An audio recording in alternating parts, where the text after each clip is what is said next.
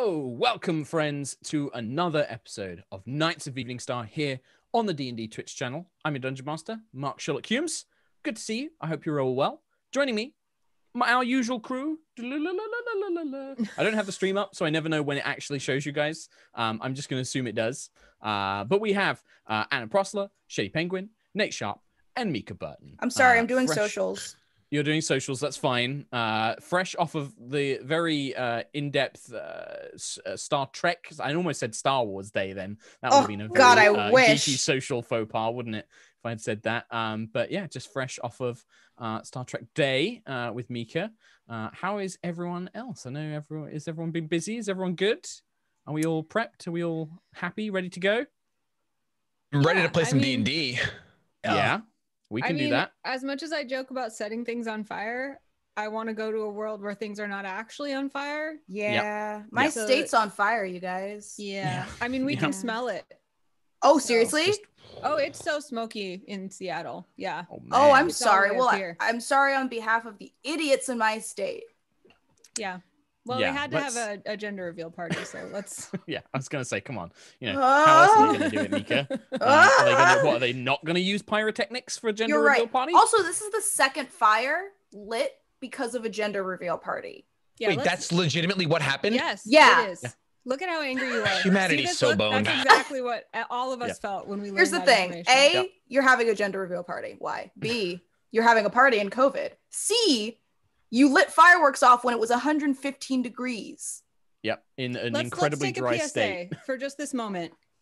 Nights of Eveningstar does not endorse the actions of having gender reveal parties with pyrotechnics during a drought, especially, and step down from there.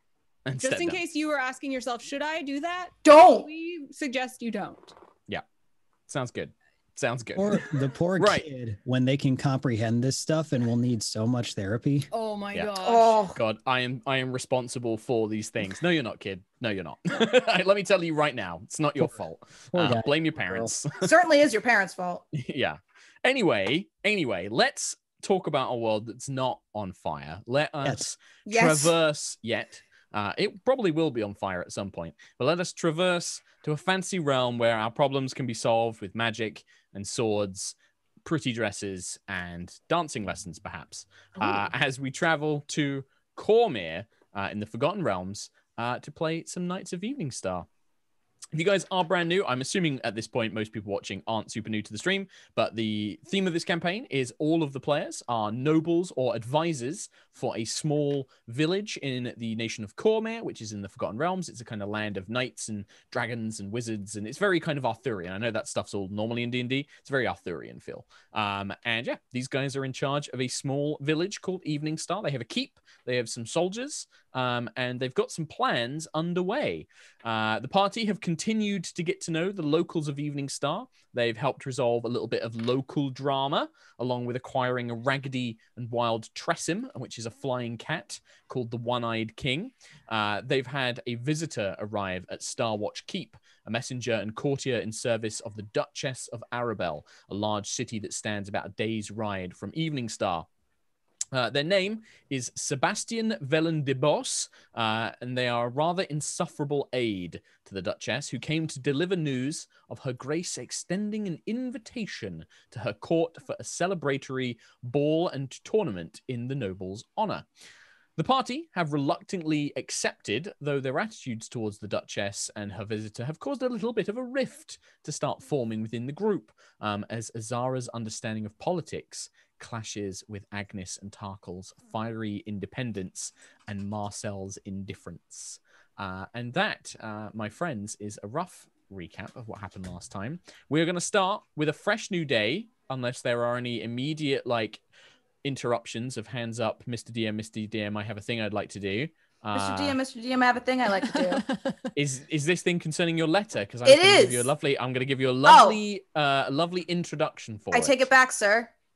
That's fine. That's fine. I was I prepared for it. Oh. Um. So Can I when we a- begin, Can I get an emotional recap? Because there was like there was a lot that happened between Azara and the the Crownsilver siblings Mhm. and everything. So I feel like if I remember? I remember correctly, Azara got really upset because the Crownsilver idealist siblings were like, we don't play these stupid games. We're not going to this stupid ladies' ball, and we want to Yes. focus on the people. And then Azara convinced Agnis to calm down and think about the the ends that those means would justify. And then Agnis kind of convinced Tarkhal. Is that right? Shady? Uh, I would say that Dusk's conversation and the conversation with Agnis, and then I, uh, the the lingering words of Azara uh, may have convinced. I don't know. We have to wake up on a new day and see what Tarkhal's thinking. I don't know. Yeah. Yeah, that was- I he- just that was to was sure I left remember the conversation correctly. Yes, he was Yes. very fiery at first. By the end of all the talking, he was less fiery and more Okay. contemplative. And then don't forget Azara and Alyssa. Yeah. I was gonna say a they had a private lovely- conversation. I'm like jealous of their friendship. We're gonna have tea every week now. I know. It's Maybe. amazing. Maybe. Maybe. Well, So Uh, just a more friends, I, I'd like to throw out there this like magic, uh, whatever, like f- fancy douche guy who came wherever he's staying. yes. Um, head canon. he's played by Will Arnett for me. Yeah. okay. Right. Sure. You know. Yeah. Yes. I'm happy to go with that. Yeah. Yes. Absolutely. Just sharing my Um, thoughts. I love that Yeah. thought. Uh, Illusions. illusions. Um, I just get flashbacks to World of Warcraft. Moving on, uh, we have the start of a brand new day. But yeah, that was roughly where things were left last night with Alyssa and Azara having their conversation. I believe, yeah, Tarkhal was kind of had been simmered down. Um, no formal, I think, no final, final decision about whether you would attend the ball or how involved you were going to be. But you did give Sebastian um, housing in your estate house in the village itself, rather than relegating him to the tower, uh, the corner tower where uh, the one-eyed king stays, um, and has made very smelly. And that was kind of where we left things, I think. With a brand new day, as the dawn begins to rise, cresting over the rolling hills, the farmland, the forests all around Cormyr, um, Azara, you are awoken uh, to a sensation of magic. You, you, you know, being an in-tune sorcerer um, who is very uh, practiced in your skills as a war wizard, being aware of your surroundings, you become aware to the sensation of magic um, as a tiny, glowing, purple hummingbird, almost made of purple light, um, comes hovering through the windows, um, kind of phasing through the wall as it transforms into a very beautifully gilded letter, sealed envelope that kind of lands on your desk, um, bearing the seal of the War Wizards and specifically uh, Master Magister Demelin, um, as it kind of and arrives for you. Uh, how early in the morning is this? Um, this is probably I think Demelin would know that you do not like to be awoken too early. Wonderful. Um, so it probably arrives later in the later in the morning uh, than uh, anything else. All right. Um, I would probably get out of bed, knowing, seeing that this is from Demlin, put on a dressing gown, uh, probably a little anxiously, knowing that I asked some Mhm. pertinent questions. Mhm. Uh, and after reading what's inside, run down the stairs. I'm assuming the quarters are upstairs, uh, kind of calling for everyone to wake up and calling for dusk and calling for a council meeting. Okay. Yeah. So I leave that to everyone else, and you've got the letter there, right? Uh, Mica, I sent it to you on yes, Discord. I have the letter. Perfect. I will leave that to you then. Um, yeah, uh, Dusk happily. Dusk, you notice, rarely seems to sleep. Whenever you call for him, no matter what time, he appears. Uh, and as you come downstairs, he probably was reading a paper um, in front of the fire in the main sort of dining area. Um, not expecting anybody else to to be up, he kind of quickly stands up, bows, and says, "Oh, of course, my lady. I'll, go and fetch everybody." Um, and he begins making the work of arousing the staff and making sure that everything is prepared. Um, a very tired-looking Audrey and Nigel emerge uh, to begin preparations on food and beverages and things like that for everyone. Um, but the rest of the party, you are you you have these summons from Azara. What's what's everyone's reaction? in stark contrast to how Azara puts on like a nice dressing gown and stuff, Agnis just grabs the clothes she had on yesterday, dusts them off, puts them on, heads downstairs. I think actually uh Tarkhal does something similar as far as just like kind of throwing on I don't even. I actually don't even know if Tarkhal got out of his clothes from the day before. I think he's still just wearing what he. I think he slept in them. I. I actually, yeah, definitely. Yeah. It's well, not, Tarkhal though- doesn't wear particularly fancy clothes anyway. He's kind of got like a more woodsman's like outfit, right? He still wears quite rugged, Yeah. um, traveler's attire. He just has that like fancier looking cape that he probably probably didn't sleep in that, so he probably threw that on and headed down. That's probably he keeps that hung up for like, oh, this is my special noble cape. I have to wear this for noble things. Yes. Um, Well, nice. and in like the thing is though, it's clearly that Agnis is proud of the idea that she just wears the clothes from yesterday. So she like Mhm. throws them on and then she kind of like checks in the mirror with a side eye, like making sure that she looks okay, but then pretends that she didn't. Okay. Sure. What about Marcel? How is Marcel? Is Marcel up and early? Is he out of the keep? uh, yeah, like at- at this point, he's probably like coming back in from Okay. just you know being out Hunting and or- foraging, hunting, whatever. Sure. Yeah, so you catch a, a Zara, or Dusk maybe catches you and alerts you that Zara is summoning everybody. Um, but yeah, uh, Alyssa is also informed. Um, Alyssa, uh, perhaps a bit more sort of like hair askew and things like that. Um, seems quite sweaty, as if she's just been working out. You can see that she's kind of not wearing a full armor. She's only wearing a, a padded jacket and sort of greaves and things like that. Looks like she maybe just be coming back from a run, um, but sort of like sweeps her hair back, uh, kind of like brushes at her little tusks. And it's like, yeah, of course. And she you know gathers and everybody is assembled in the main keeps uh meeting area the, the dining room at this point um yeah uh i think after everyone gathers and kind of breaks the ice with like some tea and some some fruit and everything. So it doesn't seem too Mhm. formal of a meeting. Uh thank you guys everyone for joining me. Um i reached out to to my my magister my master demlin and i i've i've come back with some information about possibly the woman who we were fighting the witch the one who seemed to have corrupted your magic uh your grace. And i'm i'm quite worried about the information that i've received. It seems we may be dealing with a powerful fae from the Feywild uh, someone who cannot be trusted as fae do not care about good or evil. They just kind of care about chaos and themselves. And from what it seems she does not act with discretion. She seems to be giving power to multiple people across the land possibly dark warlock packs with inexperienced magic users i just think we need to keep an eye out i've i've been dabbling with reading some runes in in in Fae, and it it seems to be all connected. But either way, if we come into contact with this woman again, we have to just keep our keep our wits about us. And I kind of passed the letter around so everybody can read the full detail of what Demlin sent back. Sure, sure, sure. Which I can, we um, can, yeah. I can send that to everyone in Discord. Thank you. Uh,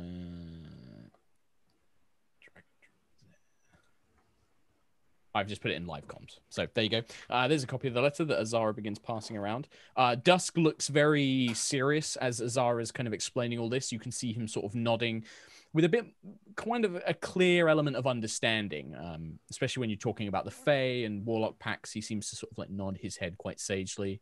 Uh, Alyssa folds her arms, uh, looks in Azara's direction. My knowledge of the Fae is somewhat limited. I've always heard stories uh, when I was a little girl of um, uh, their world being overlapping hours and the Fae. Well, there's always stories of children wandering into forests and going missing, or people uh, speaking to mysterious figures that form out of the, the woods or the mist. Uh, how powerful exactly are they? Uh, is this something that armies can face, or is this uh, powerful mages? the Fae are tricky in my experience. Um, some of them are just innocent and looking to have a little fun, and some lean on the side of the fun being suffering of others. It's it's never about what's right or what's wrong. It's about what's entertaining. And they're Mm. ancient Fae, deep deep magic that could wipe all of us out with a blink of an eye. Um, it really depends on who we're dealing with, what we're dealing with, really. And I think that until I can find out more, until I can research more, possibly take a trip to the Feywild myself if need be. We don't know what we're dealing with. If this is a rogue Fey, if this is a mounted pursuit of the mortal world, I I I I could not tell you, but I hmm. just know that this is not good. So, what does that mean for us? What should we be prepared for, and how should we proceed if we do encounter this sorceress again? Well, for now, I have sent word to an assistant of mine back in the day, uh, Sarah Lee. She might come and actually join us here at the Keep, uh, staying in the library we're having built. That can speed up the process of research. She is a talented mage herself. Possibly, if we need to take an expedition to the Feywild, I can gather a magical army. Someone more for protection. We don't want to piss off the Fey. That would not be in our favor. Um, but we want them to know we mean them no harm. The Fae and the mortal world should always work as one. We should never try and cause war with them. We should never try and harm their environment, who they are. We just want balance. And this woman, this entity doesn't seem to want balance. So we'll have to take it one day at a time. If both the Fae and we want balance, perhaps we could enlist the help of some creatures from the Fae in defeating this woman. Again, another reason to take an expedition, possibly form some allies in the Feywild. Uh, but again, we don't know much. Research first before taking any action. Uh, the others kind of look in the direction of, of Tarkhal and Marcel. Dusk doesn't really seem to have anything much to say. He's being surprisingly quiet, I suppose, in a sense. Um, Alyssa just kind of nods her head and seems to be contemplating um, more the tactical side of things and, and uh, what can be done. Um, but it seems to be taking everything seriously. Tarkhal, Marcel, anything from you? I think Tarkhal is just um, just listening intently, like Mhm. definitely taking everything that's being said uh, as valuable as it is, like not not taking it for granted. I don't think he I don't think he responds to anything since Agnis has been doing a bunch of talking. Okay. Marcel, anything? Yep, same boat. We're just Okay. listening, taking in, not much to really contribute to this. um, I think that as you're kind of listening and talking, Marcel, the sword, uh, you hear it kind of speak to you briefly. I did. There was. I didn't sense anything, but that woman. It was old magic. I- could tell that much at least when she was around. Whatever spells or magic she was using, it was old, but it didn't seem otherworldly. It's hard to explain. I- I'm not sure. I think this woman knows more than I do, but I don't know. There was something odd about it all. Something primal. Something. Something like I've. No, I, no, I, I, I don't know. Speak. Like what? Uh, this is in Marcel's head. Sorry, Oh. this is uh, he. Yeah, nobody else can hear that voice. Uh, uh, that's Marcel's voice. Well, in s- his I head. say speak into the room for no discernible reason. Dusk will take the opportunity, however. Uh, he kind of nods and stands up. He's like, Well, I'm afraid that such matters are a little bit beyond me. That's why we have you here, Magister. Um, I, if you need any help, I'm happy to uh, assist. I have begun the work of uh, preparing the library for you. Uh, I've received the taken the payment for the treasury. Um, I've ma- begin making a catalog of necessary tomes, um, and I'm, I'll also reach out to your colleague, this Sarah Lee, through the War Wizards, uh, to coordinate what we need. Uh, one, a couple of matters. Whilst I do have you all here, my lord, uh, whilst you consider what Magister Zara has, has uh, referenced, um, I do wish to remind you of our visitor from yesterday and their invitation to the Duchess Arabel's ball and tournament. Um, I suspect that we will need to send a response somewhat soon. Uh, so please do inform me of your final decision. Uh, also, if I may, if you do intend to go to the ball and the tournament, you have some time before then. Time that could perhaps be spent training, practicing.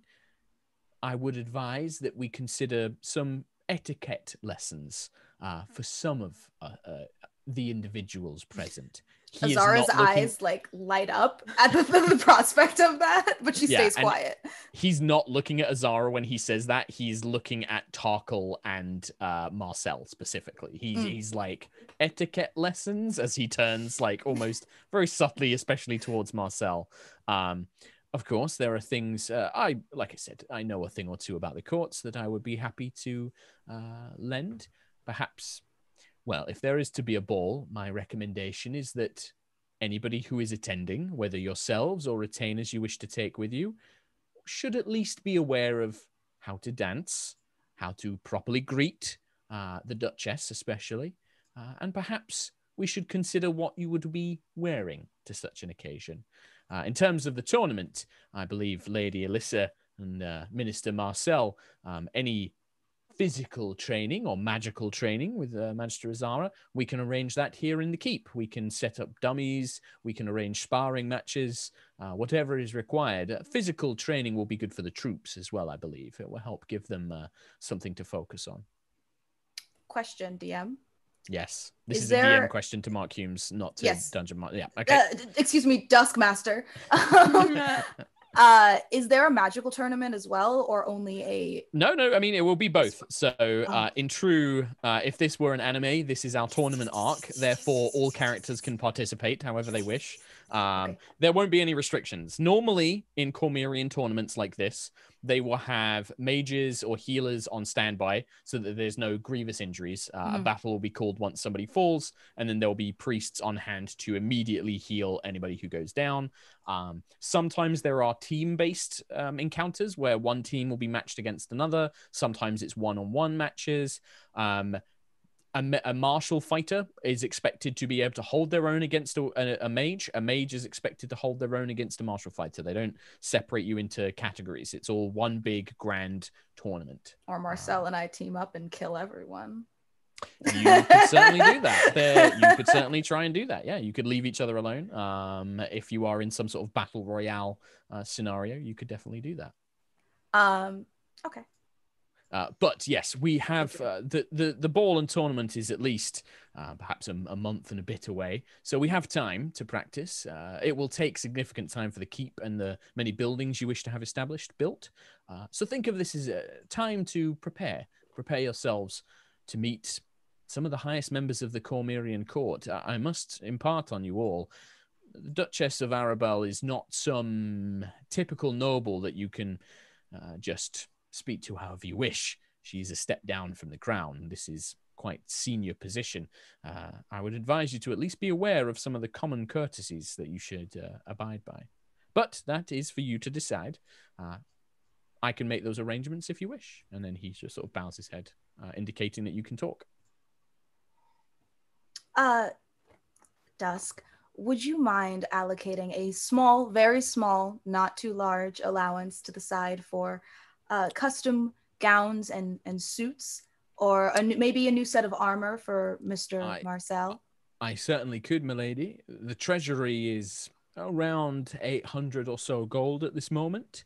I'm happy to put some of that to the side, but that is for you to decide how to spend. I think a uh, very small amount. And if there's a local uh, gowns woman, seamstress, and and armor smith, maybe in the town over, that would be happy to have a patron of such caliber come to their door. If we could make contact, um, Certainly, Uh, there'll be somebody in Arabel. I would highly recommend that uh, if we Mm. arrive a day before the tournament, that we go and speak to them. Uh, we can have measurements made sent ahead so that Mm. things can be made in, in advance. But yes, I recommend that we stop into the city. The city will have many things. Uh, if you're interested in buying such materials, clothing, jewelry, uh, magical relics, potions, the city has all of that pre-established. It, it may be a good time for you to look into any sort of things like that that you wish to purchase for yourselves.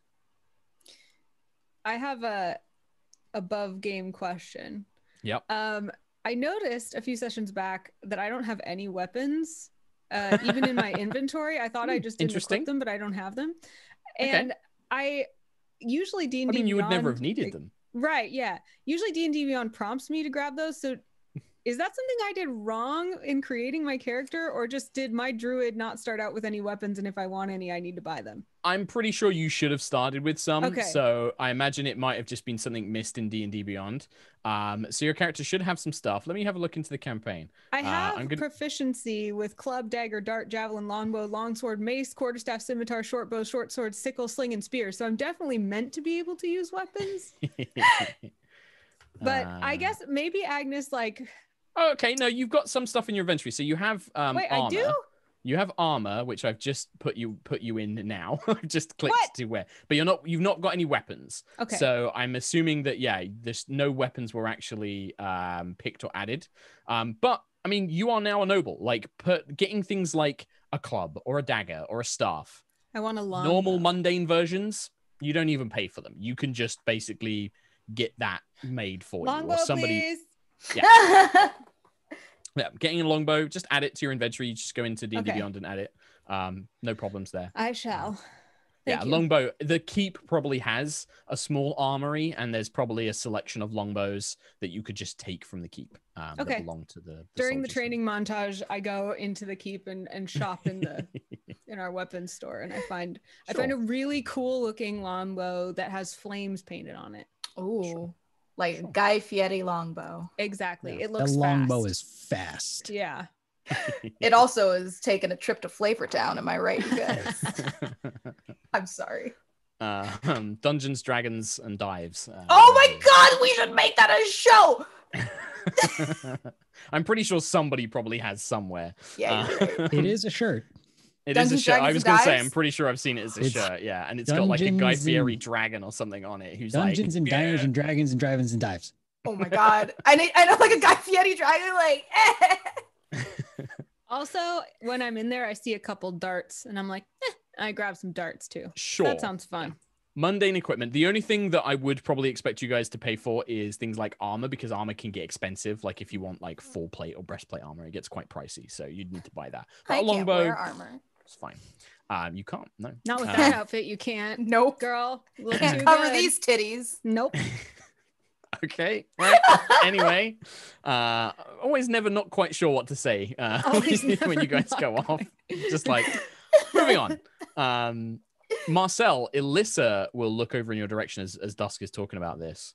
Uh, well, Minister, uh, one of your duties here as Minister of Arms is to provide training for the troops. Uh, I was going to speak to you about this anyway, but you and I will need to train the troops uh, over the next few months. That is one of your responsibilities here. But perhaps we could begin that with uh, a sparring session. You have been quite. Um... Well, I look forward to testing my mettle against yours. Let's, let me put it that way. As do I. Well, perhaps You today can't then. see it, but he's smiling. Yeah, it's all hidden Does behind he- a mask. Does he smile with his eyes though? Because sometimes you see. Does can he smize? Yeah. No. No. Aw. Maybe we just see the mask move a little bit. tell. Yeah. Slight move up. yeah. but he could be doing anything. He could be like sneezing. Uh, We know no. uh, Could be hear- grimacing. hearing that and loving the drama, Azar will be like, um, I have a small suggestion, if you don't mind, uh, Lord and Lady. Possibly this could be a good, uh, rousing towning bonding experience if we promote a mini tournament in the town and possibly advertise the title match of our minister versus our crown guard and get the town to gather and feed them and just have a have a fun day of it. Hmm. A centerpiece of violence never appeals to me, but I do understand the need for events to bring our people together. What do you think, Tarkhal? I think it sounds like a fine idea. Would you be interested in practicing yourself, Master Tarkhal? Uh, you do carry yourself with the a man who knows how to use those knives. I, I, I think I think I'd rather sit this one out and let Marcel uh, show the town why he's minister. Tarkhal, why not present a stoling tournament presided over by you? I've heard this Uh, stoling quite a lot. The children in the town do seem to be quite keen on it. If it is going to be our town's known entertainment, why not start now? Uh, perhaps perhaps we we figure something out with the kids, uh, and and maybe we can get some of the some older gentlemen to captain these teams. You know. That sounds great. I saw a couple of the older gentlemen keening, being keen on stoling. Yes, that, that sounds like a good idea, Agnis. When would my lady like to if we're going to arrange this as something more for the town um, do you have an idea in mind? A few in a, in a few days time? Should we set it for the end of the 10 day? Uh, uh, arranging it for today or tomorrow might be a bit of a stretch but i can certainly have something put together in a few days. I think the Are 10 talking days sounds good, Agnis. In 10 Uh, days, that should give the town enough time to to gather what they may and brim with excitement. I defer to Azara. She seems to know of these things. I think that sounds like a wonderful idea. And the the stoling tournament for the children, perfect. They don't need to be around that violence anyway, so young, and it'll be a great time for Tarkhal to bond with the children, as you seem to love. The first regional junior stoling championship. I will commentate it. And if we wanted to provide food for the town, seeing as they've been through such a rough time, I think that it could be a good morale boost.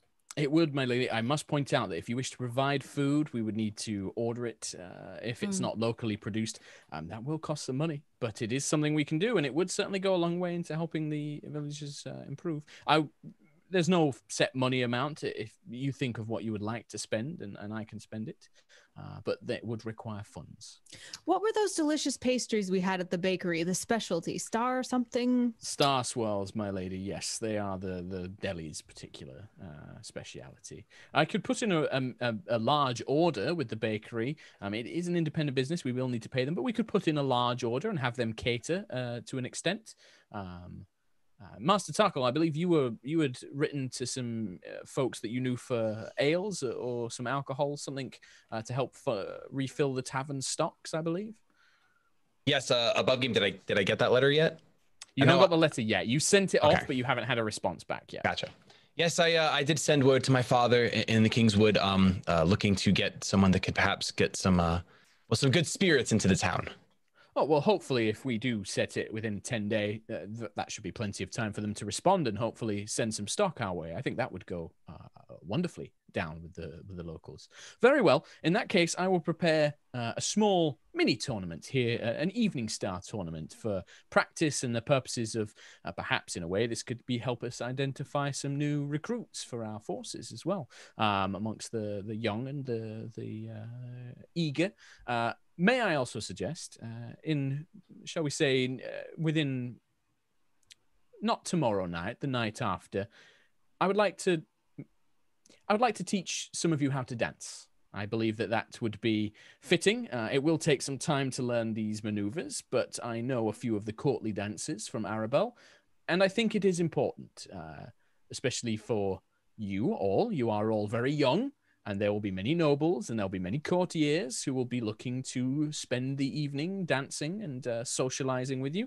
Uh, I'm not sure if I, Lady Agnis and Lady Azara, I'm sure you know a few courtly dances, but Unfortunately. well, perhaps a good chance to practice those skills then, my lady. Uh, and besides, eh, amongst good common company, no need for embarrassment. Uh, perhaps yourselves, Lady Alyssa, uh, and then anybody else that you wish to take to Arabel. I think that I think it would be proper to do so. Well, if it improves relations with our neighboring towns and thus benefits our people, then perhaps all those hours of dance lessons I was forced to take will go to some use, I suppose. If nothing else, it will make sure that you are not. How do I put this delicately? You will not draw any negative attention to yourselves. Let me put it that way. I would hate for you to be the subject of any mockery from uh, the other attending nobles. We look at Tarkhal well. and Marcel. Yeah, I was like, Tar- Tarkhal's like a little lost in thought now because like he actually did a lot of dancing as like growing up in the woods, but it probably was not noble dancing. It was country dancing. It It was- was, it was basically doing like and a bird, a bird, a bird, um, you know, there was uh, you know, string banjos connected to barrels and lots of sort of like saucepans and spoons and things like that. the Uh, jug was that you not- blow into. yeah, there was yeah, that was like a yeah, blowy right jug. after and- polishing it off, hundred percent. yeah, yeah, absolutely. Your dad probably played uh, the the drinking jug. That's what your dad played. You know, he'd Yeah. just down a cider and then he'd be like, "Boop, boop, boop." Got to. Uh, Doot, doot, yeah. and then the old spoons going on at the same time. Um, but yeah, so yeah, uh, you know, uh, maybe useful, but not necessarily uh, appropriate for the courts, I believe. Um, in that case, Dusk bows his head and says, I will make the suitable arrangements, my lords and ladies. Uh, until then, uh, you are free. Uh, if there's anything you wish to pursue in the town, do let me know. Um, otherwise, just enjoy your time. You, you've, you've done a great deed for the town. You deserve a little bit of a rest. You've had a very busy few days um, dealing with all of these problems. Take some time, relax, rest, uh, grow accustomed to your new position. If there is anything immediate, I will bring it to your attention. And then he bows his head and will make his way off. Um, so this is the point where I'm going to ask you guys if there is anything specific you guys would like your characters to do, any conversations you want to have. Otherwise, we're going to just keep some head. Go for it, Mica. Real quick. We'll start with you. uh, after Dusk leaves, uh, Mm-hmm. I, Azara will turn and face the three of them and Lord, Lady, Minister. I, I would like to just formally apologize for my outburst yesterday. I understand that we are all new to this position, and I possibly have jumped the gun with assuming that everyone knows everything that I've lived through in my hundred so years of existing, and it was not fair to either of you. And I just hope that now we can see a little more eye to eye, and moving forward, we can have calmer, more rational discussions on diplomacy and politics, knowing that I have your best interests in heart and the kingdom's best interests in heart, and knowing that we all want this wheel of politics to be broken eventually the correct way without harming too many people. That I can agree with. And she kind of like reaches out for your hand in solidarity. She'll take it and shake it. Good shake. Uh, Tarkhal, I think he just gives a faint smile, just nods his head. I don't think he actually says anything. Uh, Marcel's just, oh, no apologies needed. The bar was set when I learned I'd be working with a war wizard, so the expectations are there. I don't know how to take that, Minister. However, I do respect your prowess and your power, even though your manners have a lot to be desired. And putting this distasteful comment aside, I do hope that when the tournament comes, we can show the rest of the kingdoms how the Cormyrians do it, and uh, we can we can take a win home for us. And all but maybe a small bit of the prize money can go to you if you would like to team up and absolutely destroy the competition. I just would like a little bit of funds for a new dress, is all. Mm. And with that, you- I'll just kind of yeah. take my leave. Take my leave. You see that when when Marcel said what he said, you saw Alyssa just like trying to drill holes in the back of his head, like. um, but Marcel, you hear a voice in your head after Azara finishes speaking, and you, you hear the the sword voice in your mind again. Just that was, well, she doesn't she doesn't seem like the rest of them. That was a little rude. Well, we have no reason to assume the best or worst. I suppose not. And you just hear him go quiet again. Uh, what was that, anything- Marcel? Did you say something? What? Nothing? All right. Okay. you want to crack Um, this so bad. I love it. I just I love, love the it. idea that he like never speaks except sometimes to himself Yeah. randomly. Like, Yeah. Perfect. I love it. um, Um, anything from anyone else? Yeah, I want to follow up with His Majesty about uh, the rest of the Tressym, and then I want to invite him and the Tressym court to partake in the festival. Okay. Uh, yeah. So I, I'm not going to go into the full details. The one-eyed king, when you speak to him, yeah, I'm, and you have to cast speak with animals. So, Yeah. um, but yeah, you, it's fine. Uh, he kind of gives his approval. He is just like, "Mm, yes, yes, the accommodations are suitable. I the rest, I will not bring the rest of the court. They will be allowed to roam as necessary. But I will, I will watch your, your squabbling from my perch. I have a place now to watch over you all. I shall, I shall pursue from there. You may inform the witch that I have found her a suitable companion. Uh, I have instructed them to visit the tower. A companion. She requested I find a tressym that was more fitting to her weak nature. I found such a tressym. That's lovely of you. Thank you. And Mm. uh, do I understand that you will be watching the festival from here or you will attend? I will I will come and go as I please. If there is food, I shall attend. There will be food. Do you have any any specific requests? Rats. Types of rats. Uh, prepared any particular way? no, fresh, alive, so I may hunt. I see. I'm certain there will be rats aplenty Mm. at the festival. Ha, you underestimate my prowess. Already I have slain many rodent intruders into this keep. Well, I won't make it easy for you by by putting them all in one place. You'll have to Of hunt them. not. Of course. Of course. And You are you are suitable. You are a suitable attendant to me, elf girl. Uh, I shall I shall keep my I shall keep my one eye upon you. You show potential. I bow gratefully. Mm, And yes. you you prefer not to invite the rest of the Tressym court? they will come as they please. They, they we are we Tressym. We we do not ascribe to many of your foolish uh, human elf ways. We have our own methods. We control the skies. They shall they shall attend if they wish. Well, for some of the weaker Tressym who prefer not to hunt, I will set out a few saucers of milk if you think they would enjoy that. Ah, yes, mm, yes.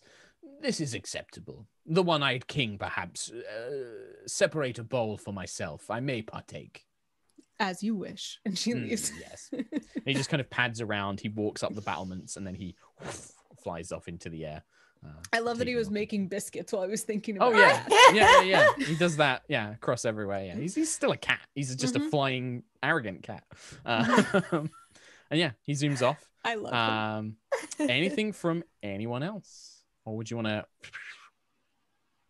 Is it just one day that's passing right now? We're just We're gonna jump through a bunch of days, so I will Okay. tell you like if you guys want to do something like yeah, in a couple of days I want to do this, in a couple of days I want to do that. But because this campaign, like things like rebuilding the keep, takes such a long period of time. Normally in D and D, it's like right, play out this day, play out this day, play out this day. In this, I kind of want to speed through like longer periods of time so we can get some of the more bigger events going, um, and like a lot of this stuff. But I do have some good news. So, um, some stuff's gonna happen.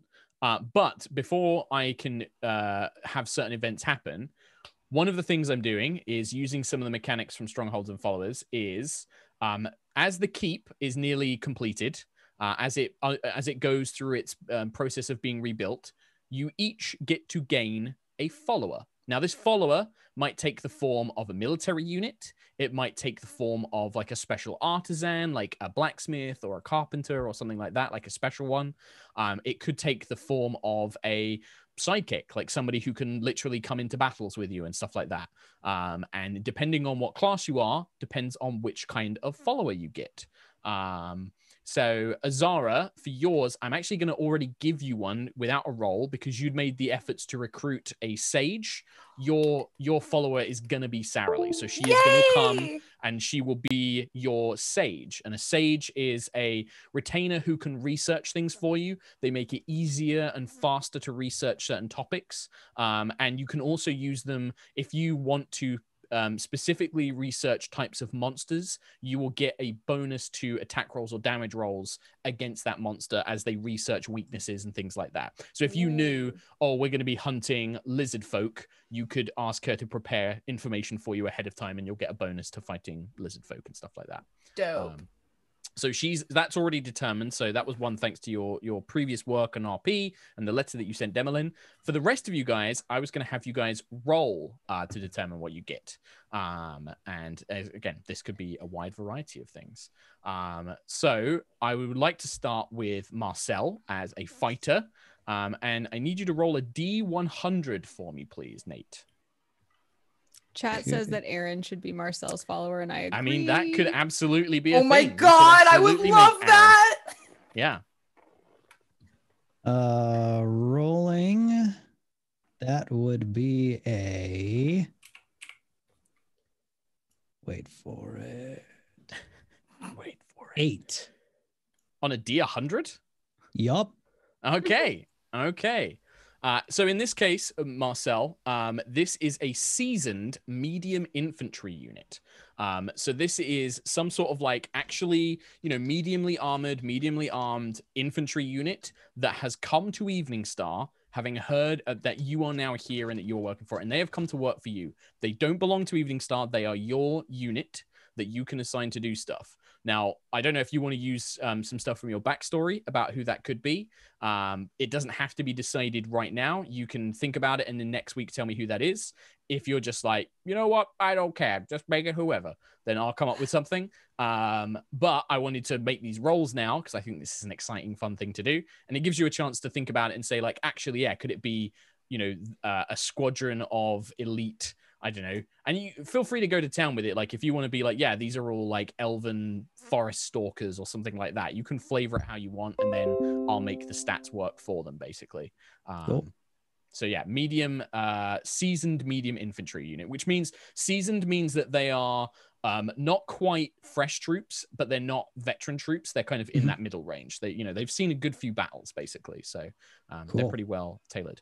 Uh, Anna, as Agnis, do you want to roll for me on? We will do a druid table follower. D100? D100. I got. I think I got 100. Wait, no. Oh, really? What is does it it zero, mean when you zero, have- zero? No, I have zero, 10. Zero, 10 is 10. 10. It's yeah. 10, 10 dead. Okay. Um, okay. Uh, so again, you can have a think about this if you want, Agnis. Um, this is a seasoned medium flying unit. So this could be like eagles. You have a unit of eagles. Tressym. Tressym. Tressym. You could have a unit of Tressym warriors led by the one-eyed king. Yes. um, if that's, that's what, what I you want. want- No Alright, context. done. That's what I want.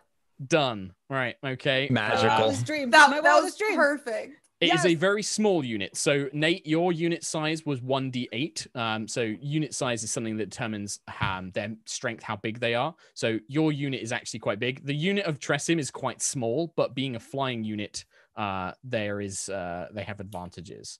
Um, flying Tressym unit. That God, just fits the story so well too. Like that's exactly what I was hoping for.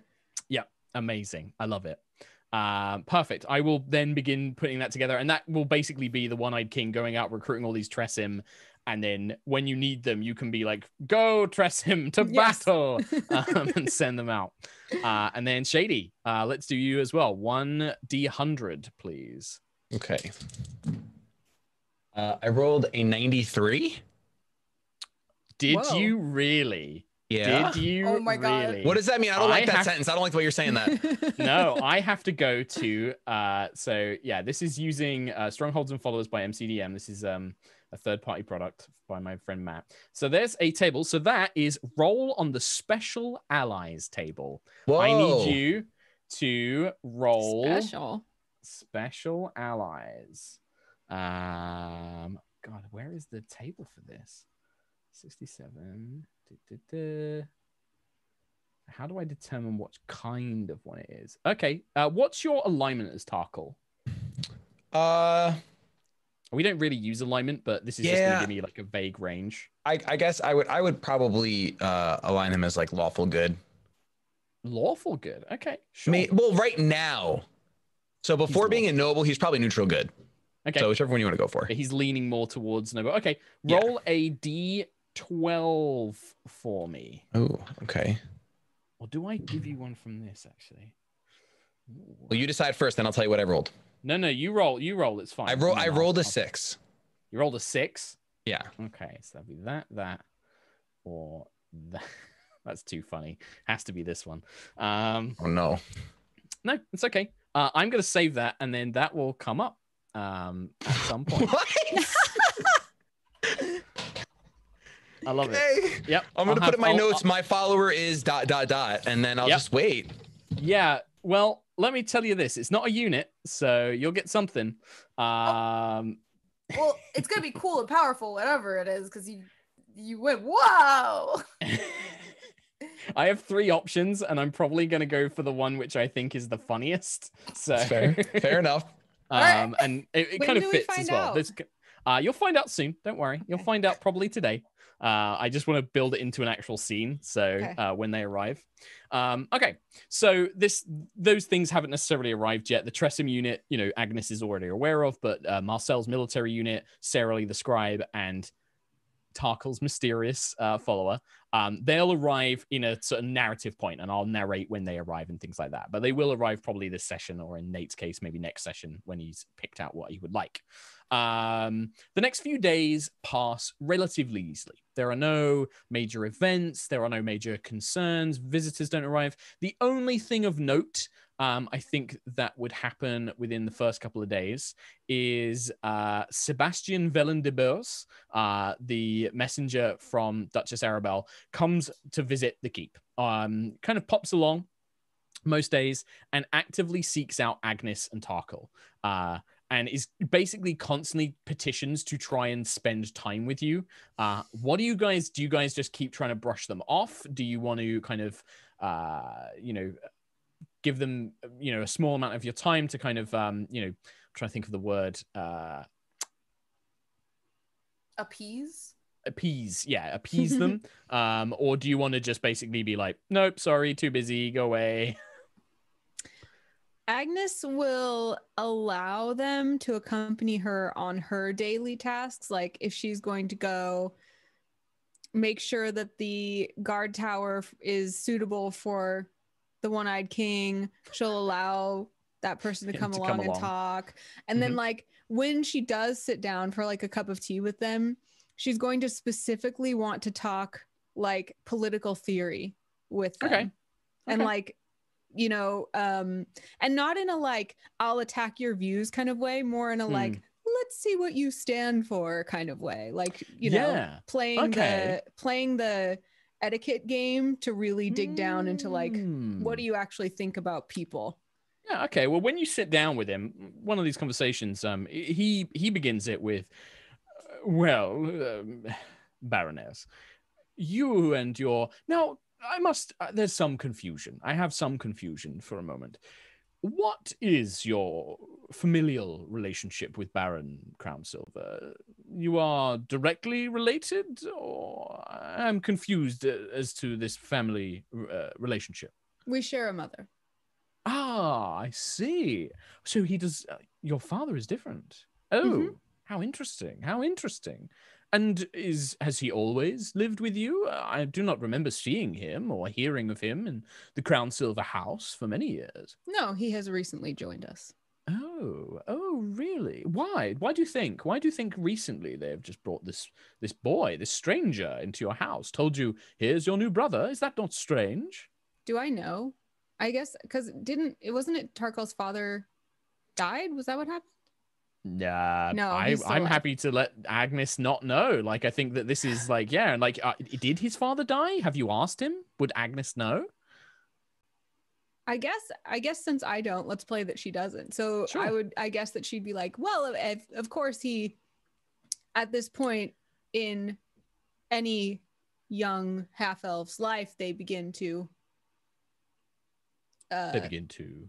uh you know eh, eh, to desire uh He a desires full- position, wealth, uh, no no power. no you know uh, oh. self-actualization more more the Oh. you know to, to know one's family and one's place in in this Oh, world and see. uh, Yes, and he has a good heart he wants to he wants to help the people in any way that he can that's what i oh, of I course, think. yes, of course, and, and I'm sure that coming from a background as a woodsman, uh, the benefits of nobility, the money, the the uh, apparel, that sort of thing, I'm sure that is a, a lovely bonus for him. Surely. you would have to ask him Oh yes, of course. i I- pray I- he's not motivated by such things but i cannot speak for Of course not. Of course not. No, of course. Oh well. Um, you have displayed some interesting passions uh, for your new position. Something strange in someone quite so young. Uh, what do you think of all this? I think that the best thing one can do when one finds oneself in a position of power is to use that power to benefit one's people and, Of course. and to better the world. Oh, I- indeed. I, I don't see why I should have been born noble while they are not. But if I must be forced to hold this position, I will use it to their betterment. Oh, oh, it's do you know, Lady Agnis, that is it's very admirable, I think. Very admirable way of thinking. Uh, forced into this position. How interesting. How interesting. I you suppose you one could. of few to call could- it admirable. Well, I I suppose in a way you could refuse. If you spoke to the Duchess, you could say, "Uh, I do not care for this position, this role.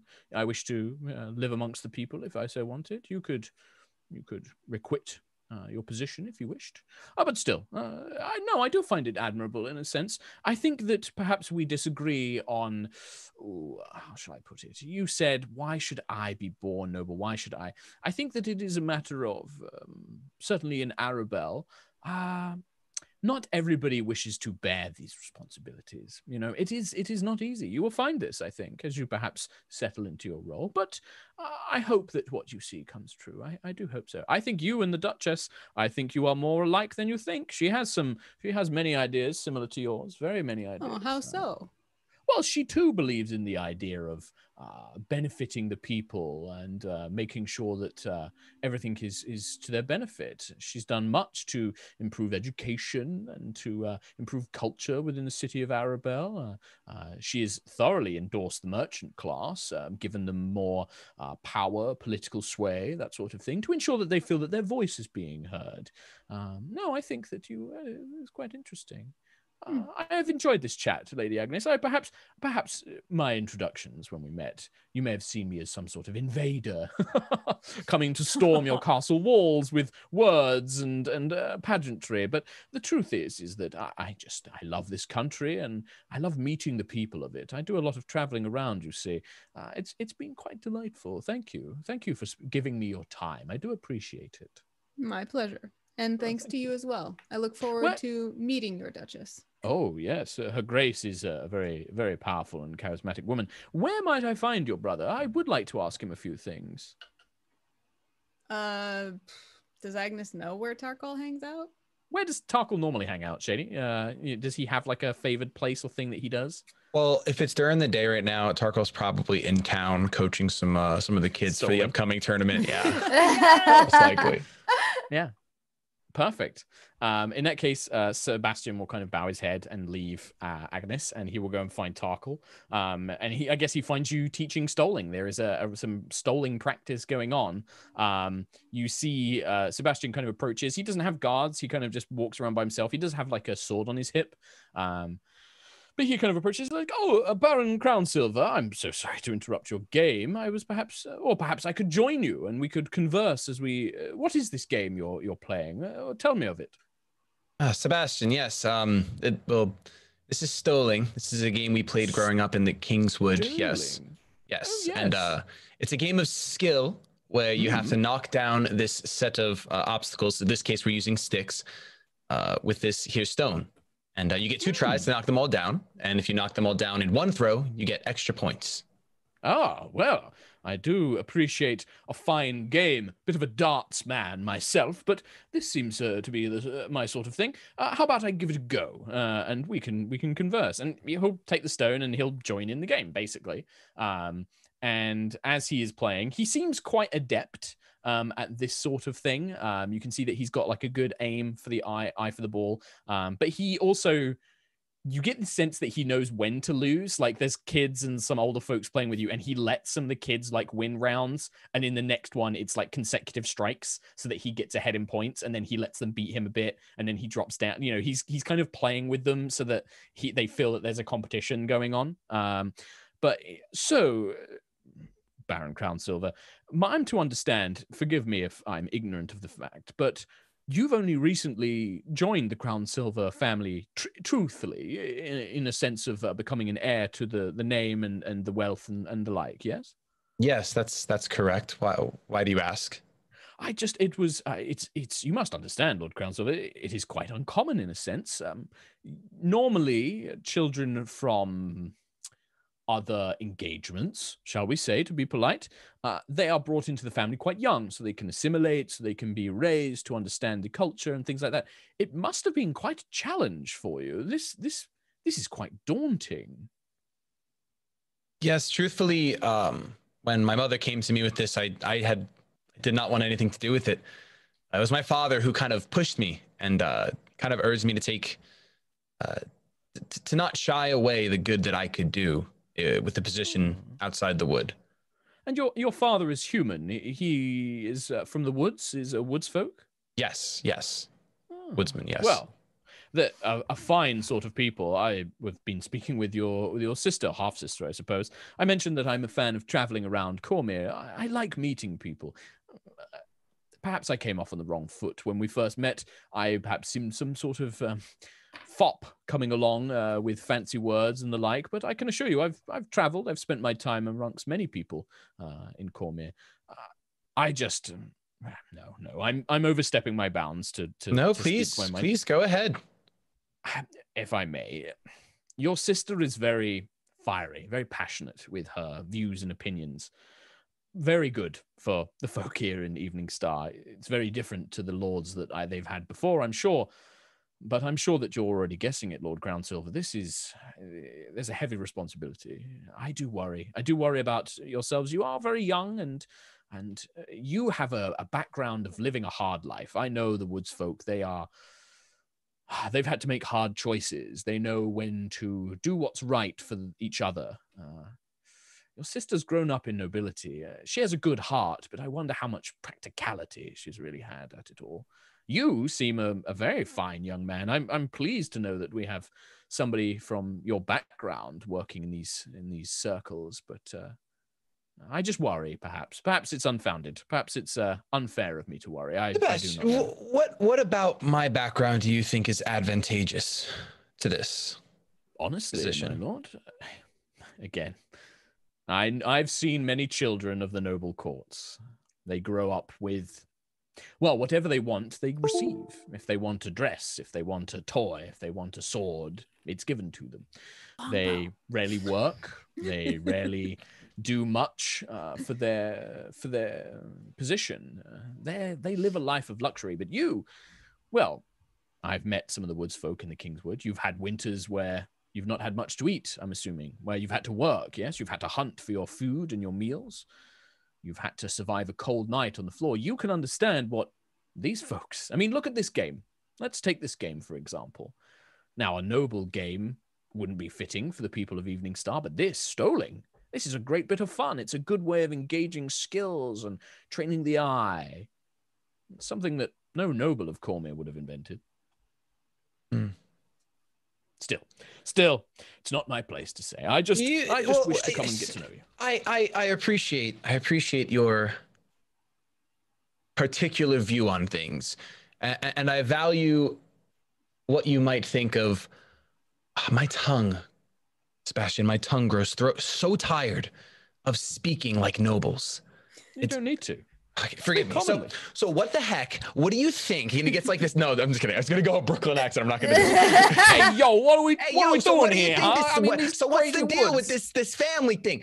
Why do you think that uh, Ag- just because Agnis grew up in no nobility, why would that be a detriment to her? Do you not trust my mother in her No, no, decisions? of course, no. Uh, let us be clear. I do not know Lady Crownsilver well. I merely know people who have grown up in similar circumstances. She seems a fine, good woman with a good heart. Uh, I assure you of that. But it is just one of those things where it's a different thing. It's a different thing living here in the woods, in the country, walking the roads, to living there. I've seen them. I've seen the children that grow up as part of nobles' families. I mean, it's all good ideas. They read a lot of things in books. They uh, get taught lots of things by their tutors about history, about the world, but they've never lived it, have they? They've never spent three days walking to the nearest village to sell off their hunting goods. They've never had to, uh, you know, bargain for their food, had to ration it. Eh, again, perhaps it is not uh, it is not fair of me to judge, and I'm not. I'm not judging. It's just merely I'm glad that you're here to balance things out, perhaps, shall I say. We've not So- had somebody like you in a long time. Like most, like I said, most children of different families, shall we call them, uh, to use the polite term, they are brought in young. They assimilate into the lifestyle. That hardship is bred out of them. You're a young man, a fine young man who's had to live a tough life. So you think it would be beneficial for more nobles to live as the woodsmen do? I think that I think People who lead people should know how to live as the people they lead. I think that that definitely is a benefit. Yes, I think perhaps people, oh, you know, even a merchant who has had to work their way up, who's had ambition, who's struggled and scrimped and saved. A merchant knows how to live hard, who knows how to make the best of things, who knows how to broker a good deal. Uh, yes, I think that there's a lot more that people can learn. Hmm. But still, still. I will leave you to your stolen game. It seems that you have quite some fierce competition as he points to a couple of the kids playing. Uh, I'm going to go about my travels. Perhaps see more of Eveningstar. I've only enjoyed a few things so far. It's a shame your inn is not rebuilt. I was quite looking forward to a drink or two. Yes, but uh, perhaps by the when you come back to Eveningstar, we'll be uh, on our feet again. I I suspect so, Lord Crownsilver. I suspect so. He wanders off. Uh, meanwhile, uh, um, as we leave that all in uh, the past, uh, Azara or Marcel, anything from you guys? I just want to check on the letter that I sent out. Speaking of the inn, to I think it was to Arabel to Mm-hmm. Uh, you sent it to help. with the the you sent it to the Duchess, kind of like in her s- court, right? right. Um, I think within the few days you don't receive a reply, Mm. and as it goes on, you still don't receive a reply. Seems to have it. fallen perhaps on deaf ears, or has not been delivered correctly to the right people. Um, but it's something that you could certainly chase up in person as to why you never received a response. True, true, true. Um, uh, another couple of nights passes. Marcel, one night, the moon is extremely overcast, and you are in a kind of trance, and you know your deep trance as you normally take your meditative trance, uh, when it's interrupted by screaming in your head, screaming and calling out. Um, you hear uh you just hear the words uh no no please don't no, just i, I don't want to go i don't uh, uh, it hurts and the screaming becomes more and more prominent more pronounced um kind of pulling you out of the trance and you sense it coming from the blade Um, I'll I'll talk to the blade. Mhm. Just tell him. Like it's fine. You're dreaming again. is it dreaming in this place uh, I, I was there again i was there when they made me the i could feel it this time. I, I didn't i didn't remember. It was so painful. Oh god i just kept screaming out for you but you couldn't hear me. I don't even know if you were there or if you could feel it but i felt what they were doing to me what the scions were doing to me. And it was it was it's worse every time, or is it the same? This time was worse. It i could it was like i had a body again. It, it was like i could i could feel the, their blades and the sigils they were carving into me. I'm sorry i'm sorry to wake you. I i i just it was like i was it was like i was me again not this not this form. You don't you never need to apologize for that. We're doing the best we can to take to take steps to fixing this and undoing this. But right now we don't have the the knowledge or the resources. So right now gonna- this is the best bet we have. i'm not going to be stuck like this forever am i i, No, I don't know if i Absolutely can not. Okay. Okay. Uh, I'll let I'll let you I'll let you meditate. Uh, uh thanks. I'll be here. If you need anything, I'm always here. I know. I know you are. That's the one thing I hold on to. Thank you, brother. Hmm. Um, Oh yeah, you and then the voice the voice just goes quiet, uh, and yeah, no no more is said. Uh, you try and go back into the trance, but I think I don't know if Marcel, but there are flashes of your own memories of dark corridors, uh, the vague shape of a temple, a man in armor screaming out a name as you both try and escape. You can feel the sword in your hand, but uh, the memories fade very quickly as you do. Yeah, I think I'll just sit and brood non-tranced for the next few hours. Yeah, just kind of disrupts the flow for a little bit um, as you do so. Okay. On about the sort of fifth, fourth or fifth night, uh, Dusk has summoned you all. Uh, he has cleared out the kind of lower floor of the keep. Um, the table has been cleared away. The thrones have been pushed to the back of the room. It has been lit uh, with the sconces have all been lit. Tapestries have been hung. Um, and he has marked out circles in chalk on the floor. Um, Alyssa stands there. She's not wearing her armor, but instead a kind of military uniform, like a very smart jacket that hugs her uh, her athletic frame, uh, a pair of tight trousers, tall boots, uh, her hair tied up in a big ponytail, um, just a little tusks kind of poking out. Um, you also see that he has brought probably along Audrey, uh, your housekeeper, um, and Aaron is also there. Uh, young Aaron with his ginger, Yes. gingery blonde hair. Um, he is wearing the smartest tunic that a farmer, uh, farmer's boy could own, um, and a pair of uh, non-muddy shoes. Um, and Dusk kind of claps his hands. Uh, ah, excellent. Well, uh, I brought some uh, partners for testing uh, and training purposes. I did all promise you that uh, I would be arranging this, and I will hold you to it. Uh, I believe it is time that we learn some of the courtly dancing that you'll be needing at this ball. Uh, is everyone ready? And he kind of gestures around at the four of you that he has summoned, um, trying to catch rolls you. her eyes. Yeah. Uh, I just want to note that Azara is looking respectfully eye emojis at Alyssa in her military uniform, Okay. like hardcore eye emojis. Yep. Uh, she's definitely sort of like uh, shuffling around. She looks very awkward. Alyssa looks very uncomfortable in this situation. Um, she is kind of like shuffling around, uh, coughs, and is drinking wine um, as as the uh, preparations are undergoing. There are drinks, so there is like a table with wine. Um, there are a few sort of like uh, other drinks available. Um, and yeah, they Dusk has basically assembled a dance lesson night. Um, Did how they get? so? oh, sorry. Did they get No. forewarning that this was going to happen? You did, yeah. He Okay. warned you like a few days ago this was going to happen. He, Knowing uh, that he said, Azara would have brought down an extra petticoat for Agnis, knowing that she probably doesn't have one on her and that she needs to get used to the So- circumference. perfect because Dusk points out, he's like, Magister, oh, that's so wonderful. I was just thinking that we should fetch something for for Lady Agnis uh, to practice wearing. Thank you so much. That's it's that's my very considerate. pleasure. This is one of my favorites for my collection. I think it would suit you wonderfully, lady. That's fine, but I prefer to lead in couples dancing. Well, that is acceptable. There will be many partners. Uh, as long as one is leading, that is fine.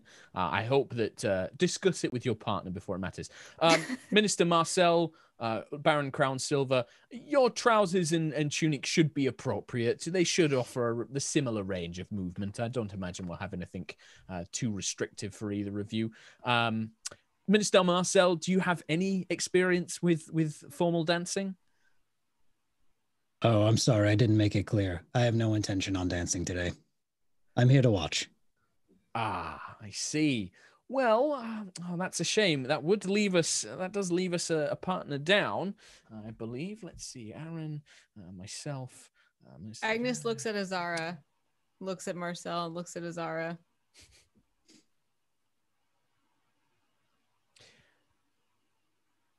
It is not my And I'll place to take the cue. force Uh, anybody.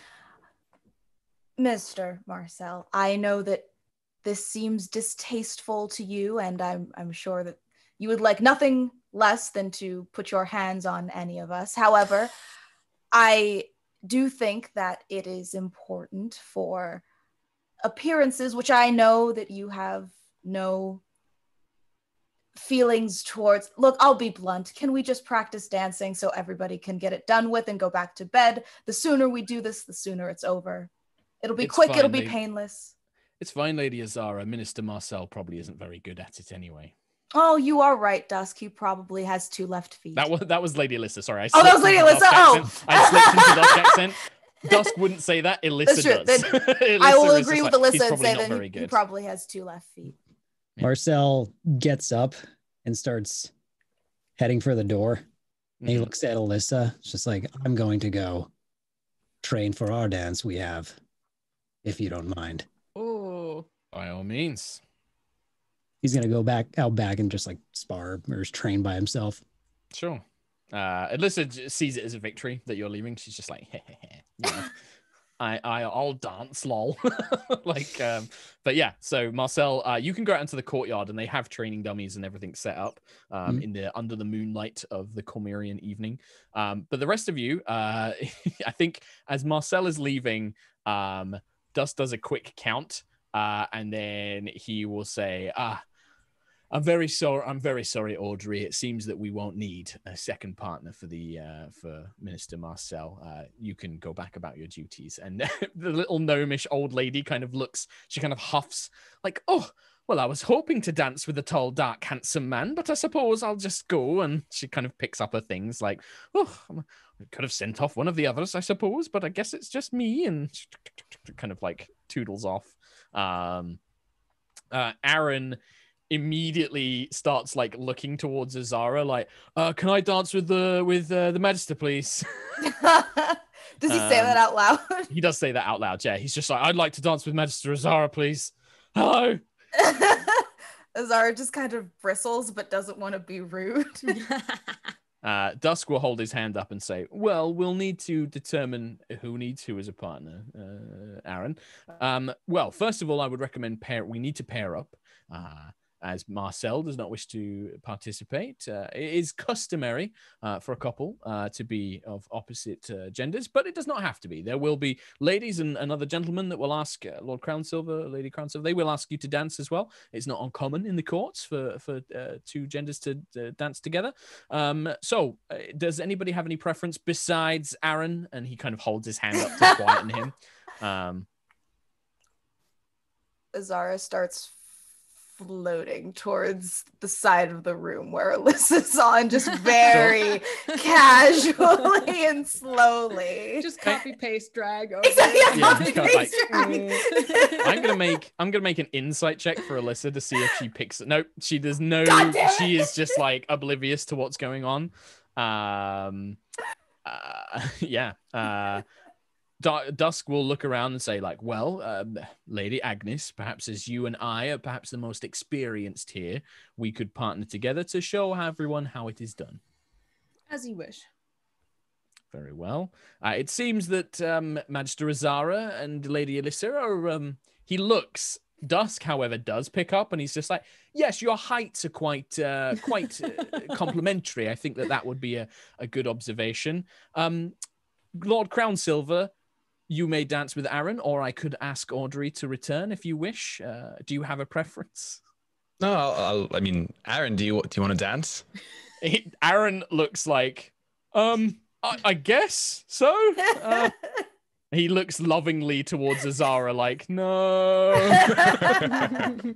He's like sort of shuffles awkwardly over to to Tarkhal and sort of like like doesn't know what to do. It's not that he's off put by the idea of it, but he's just awkwardly like, I've never danced with a man before. I don't and he's just like doesn't know where to put his hands and he's just sort of like uh um but yeah dusk kind of gets you all together and is going to try and teach you guys how to dance uh this is going to be a little bit of a skill challenge for everyone while this is going on.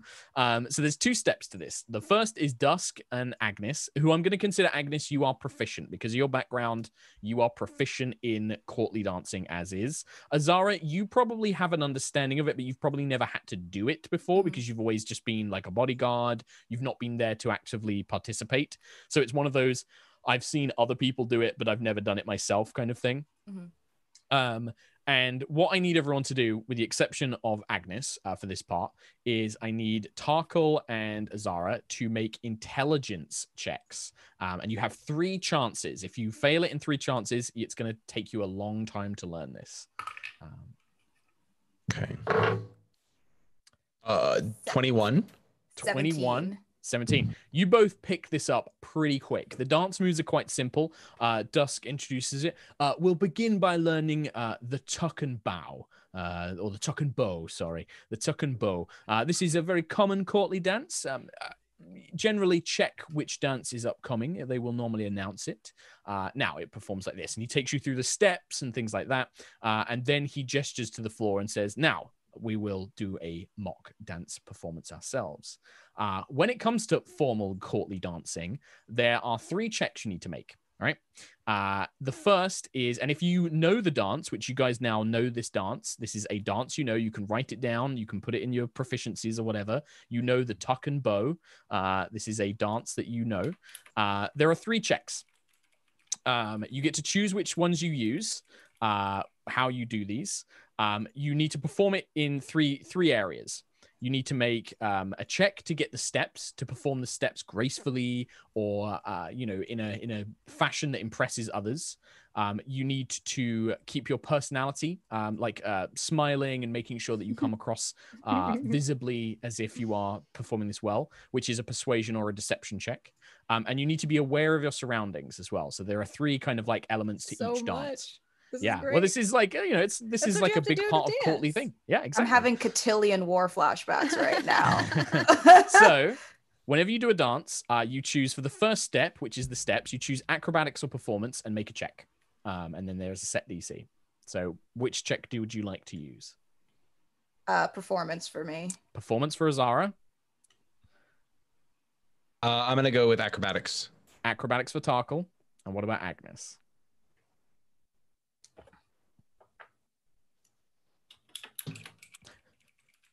oh are you muted Me? oh there we go Oh, Sorry. So, performance, acrobatics. What was the other one?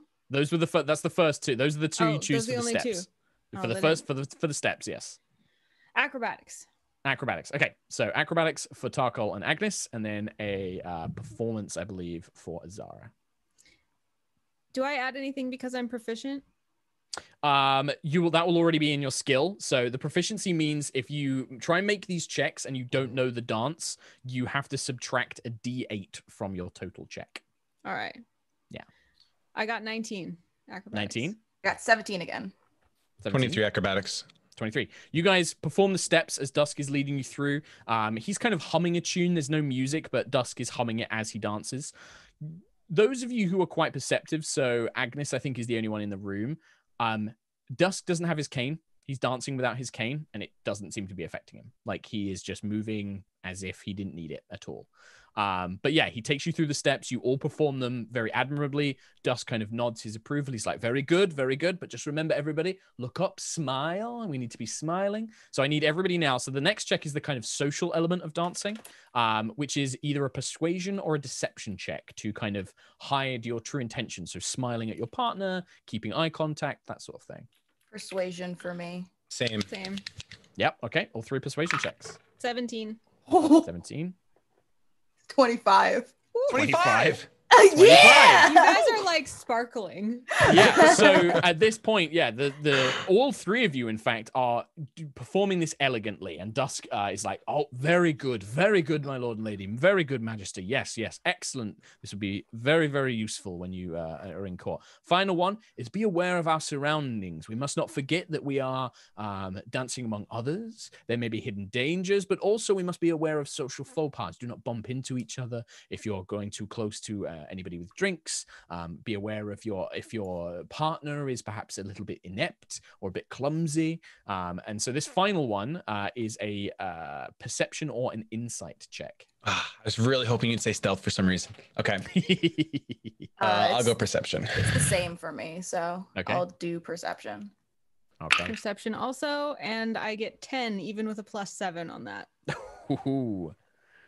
I This got was my worst one. I rolled a 14. I got a 12. Oh, You 14. did So, horrible on this um, one. So Agnis and Azara, as you're dancing, the two of you bump into each other. Um, so Agnis and Dusk, um, Dusk is is very proficient, but you kind of pull him too much. You kind of lead, and you you pull him, and you bump into uh, Azara and Elissa. Elissa and Azara, you are basically like shoved together as like you're bumped against the wall, and Elissa just is immediately like, "Oh, I'm so sorry, Magister," and like like takes her hands away, is goes very red for an orc. Like you can see for a half orc, like cheeks are full red, and she is just like hairs all over her face. Um, and is yeah, she looks a little drunk as well. Very uncharacteristically, Azara is super beet red and blushy and quiet as well, and says nothing but like brushes herself off and Oh, is like yeah, very nervous. Yeah, you both kind of do the same thing then, where she's like brushing herself off. She's like, "Oh, I'm, I'm so sorry, Magister. I'm really clumsy." Oh no, it's it's fine. It's it's and she's like trying to pull herself together. fuck's sake. Uh, I should have known that this is what this was going to you put into. a hot orc in a suit. What did you expect me to not do? my problem. It's not my problem. Um, but Tarkhal, you and Aaron, it's like this beautiful um Yuri on Ice kind of like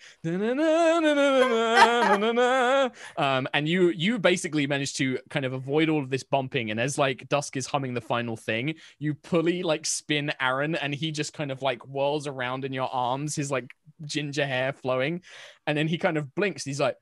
"Oh, that was really good. We that was great. And he kind of like looks really smug and pleased with himself. Yes. He's like, "Yeah, we're the best. We're the best. You guys are rubbish." And he like high, he goes to high five Tarkhal. He's Yeah, like, Tarko, Tarko will definitely high five, hundred percent. Yeah. He's just like, "Me and the Baron are the, are the best. We're the best dancers." and he's just, and then he kind of realizes what he's saying. And he's like, "Not that I care though." Uh, and then he's like, "Can I have some wine, Dusk?" And Dusk's like, "No." Like, no, your mother would kill me. Um, still that was very very good. I think that there are things we need to work on. Um magister uh, uh baroness do be mindful of your surroundings. Bumping into a, a rival noble it could spark a duel it could cause an insult. You really must be careful on the dance floor. Baron tarkhal i must say i'm very impressed Uh, i knew that the woods folk had a, a few dances in their time but you performed this extremely well uh, awareness of your surroundings a good personality and your steps were flawless Thank you. Da- uh, dancing feels a lot like hunting with smiles. It's it's it, translates. you would you are not so far from what you, is the truth uh, lord crownsilver this is a hunting ground something i must impart to all of you that ballroom when you are dancing with someone when you are speaking with them it is not just words. It is not just a dance. It is a hunt. It is an investigation. It is probing your enemy's defenses testing your allies loyalties. It is a game. And that is something you must always remember in these places. Everything is judged, everything is being watched. And how you perform, how well you do, will either be sign, a sign of weakness, a sign of strength, or it may be the thing that turns an enemy into an ally or an ally into an enemy. Uh, this is this is a rabbit's den uh, that you you go into. Still, there'll be plenty of time for us to practice. I could make these perhaps every few 10 days we could practice again if need be uh, not that i think it much of you need it but uh, something to consider and he kind of looks around uh, to see what people's responses are to this uh, little evening's entertainment A hunting ground. That's why the nobility is so corrupt. Dancing should be for dancing and none of this. there is a truth to that there is a truth to that lady crownsilver Eh, think of it in the terms of well for many they see it as self-defense these nobles some of them may have good intentions but they have to act this way because there are others who would take advantage of them it is preying uh, the the hunters and the carnivores prey upon those that they see as weak um, a few corrupt individuals perhaps make it all the worse for everyone else Isn't that always the truth? Indeed. Uh, also, I'm a cynical, I'm a cynical courtier that's been around far too long. Um, and uh, you see, he kind of returns to like he picks up the cane and leans on it and acts like he needs it again. Dusk, are you are you quite well? Should you be dancing with us?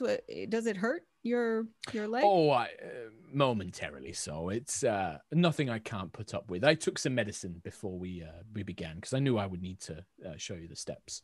So I've lessened it for now. Uh, Well, but it's fine. don't It's not overdo old it. Injury.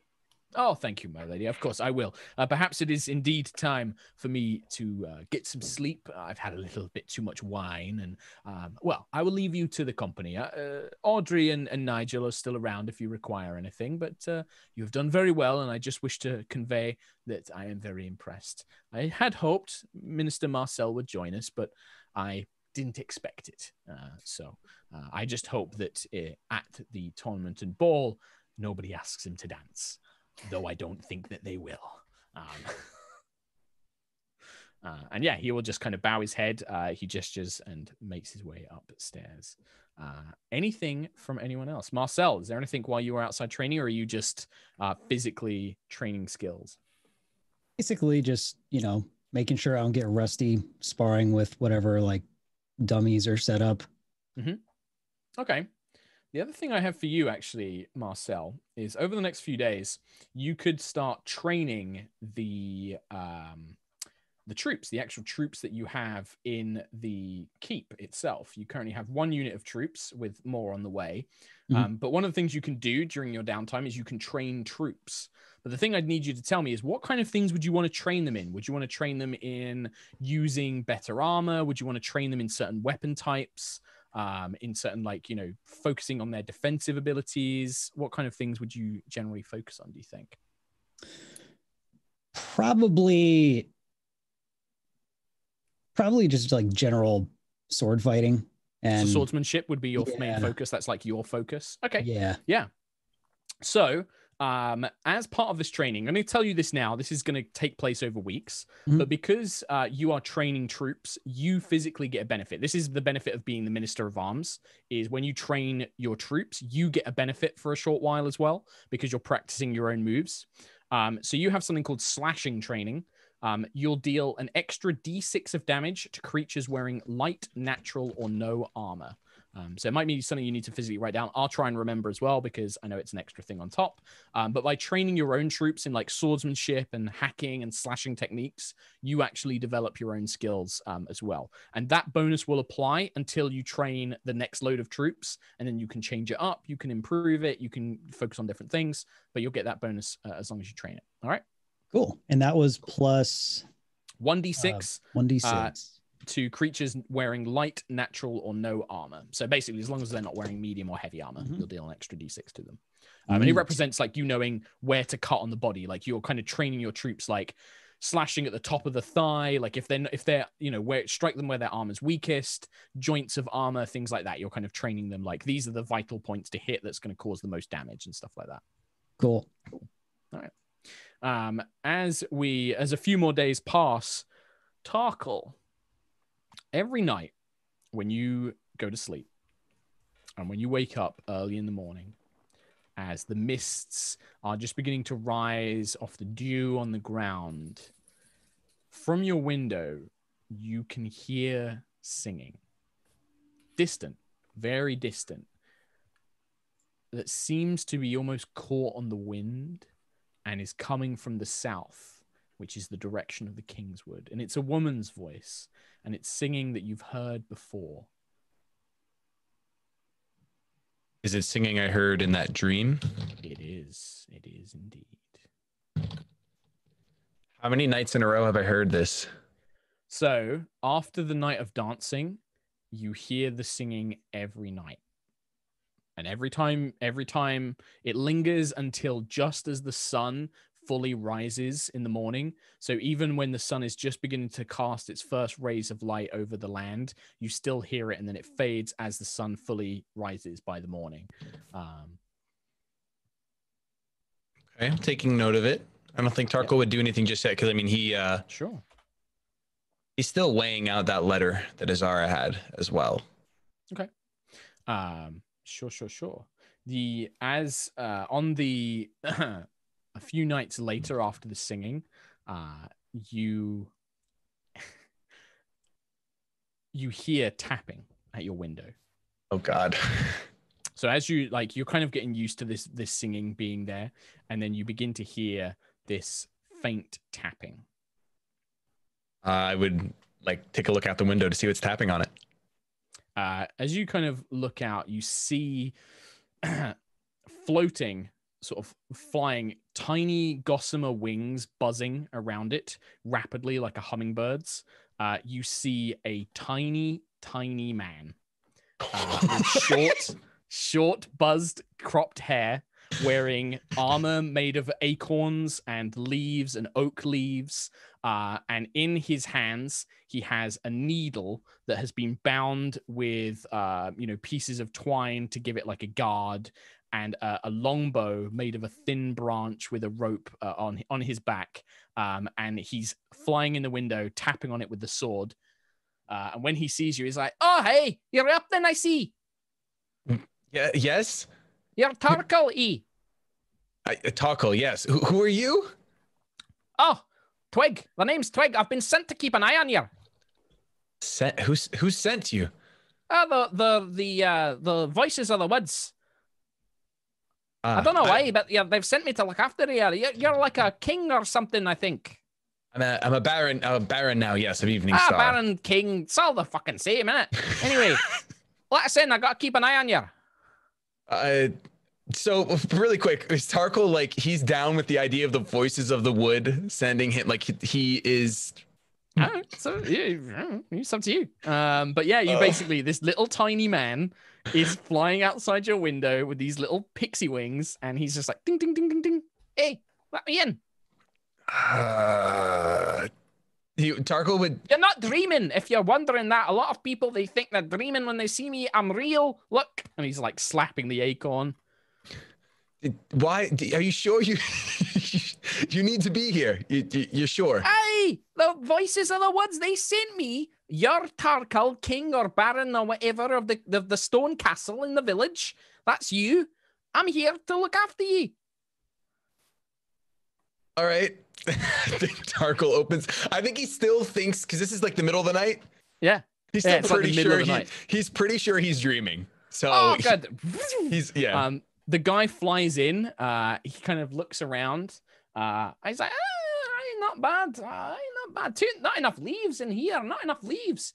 Anyway, um, and he flies down and he's just like, right, let me get a good look at E. Let me get a good look at E. And he bzzz, buzzes around. Hmm, hmm. Can you make a charisma save for me, please? oh no. Okay. This guy's coming into my bedroom in the middle of the night. Oh, that's a crit. So that's 24. Ah, oh, oh, you've got oh, kind of hard to see your heart there. Ah, you're not, you're nie undead, are you? You're not undead. You're not a demon. no, no, I'm not. I'm not a demon. Hmm, good. Yeah, well, I can't get a full read of you, but I will in time. I will in time. Anyway, voices have told me what to do. Where can I put my things? Eh, What? How many? How many things do you have? You're. Like he has like a tiny little bag made out of, I mean, like maybe like a mouse's ear or something. Um, Oh, and he God. opens it up, uh, and he begins pulling out an insane amount of little vials, little cups made of wood, but loads of them, way more than could fit in this bag. Um, and he's just pulling them out. And he's like, ah, maybe about this stuff. I've got a bed in there and stuff, but it's quite small, so it's no, no bother. Maybe have you got like a drawer or something I can sleep in, or maybe uh, I don't know, a corner or something. Yeah, you can. Uh, you can take your pick of any corner of the room. Sure. ah, good man, good man. He kind of slaps you on the shoulder. You barely feel it. It's like, you know, an ant touching you. Uh, and then he's like, all right, well, uh, when you wake up, I'll stay out of sight, but I'm around if you need me. Just call for Twig uh, and I'll be around. Um, I've got to keep an eye on you. There's, uh, there's some funny business going on. They've, they've told me to keep an eye on you. So, anyway, good night, sir. And he and he flies off, and you see him pulling out what appears to be like a four-poster bed from this tiny bag. He's like, "Ah, "Come on, you." Um, but it's tiny. It's like a little doll's bed. Um, and he pulls that out, and he begins pulling out rugs and little mice furs and things like that. Just. Uh, this is your follower, by the way. This is your follower, Yep. uh, Twig the Sprite, um, which I God. rolled on the Fey Allies chart. Um, uh, he is yours to command. You can. He will do whatever you tell him to do. Um, he he is loyal completely to you. I bet that he would be a great commander for the flying Tressym Battalion. You Oh my could God! indeed. So is he, he- could is- ride the one-eyed King king. One-Eye. King Oh One my Eye would be his mount. Um, Does, is he visible? Is he well? Because he said he'll be around, but he'll stay out of sight. Yeah. So is, is Um, he? well, gonna- when you wake up in the morning, he's there, but when it looks like you're about to leave, he turns invisible. Oh, he just so vanishes. dope. He's just like, all right, bye. And then with a sprinkling of pixie dust, he vanishes. Um, and Guess yeah, I wasn't dreaming. follower. Cool. Uh, Sweet. That is Um, the funniest. You're like whatever's funniest, and good Yeah. lord, sir. there was there was more powerful options, and I was just like, man, those are really gonna unbalance things if I give you one of those. And then I saw this, and I was like, that's actually perfect in a narrative sense of the whole forest and fae and stuff like that as well. So this makes a good fit. So um, yeah, hundred percent. Awesome. Um, yeah, a little bit of improv. Had to come up with that on the spot, but so be it. Um, the next thing, uh, over the next few days, I believe, uh, your little mini tournament of the village arrives. Yay! Uh, Dusk has set the whole thing up. Um, the villagers come out in droves, glad for a little bit of a break from their hard work. Um, most of the fighters in the tournament are the soldiers themselves. Um, quite a few of them see themselves as upcoming uh, talented warriors and want to prove themselves. Um, so they put themselves forward. Quite a few of Dagmar's stonecutters, including Dagmar herself, uh, the dwarf mason, have put themselves in for a fight as well. Um, Aaron uh, and his mum, uh, Susan, have also put themselves in. Um, Susan has no armor, uh, has no armor or weapons. Instead, she has a big saucepan and a big rolling pin. Is what she has come equipped with, um, and is ready to take the field.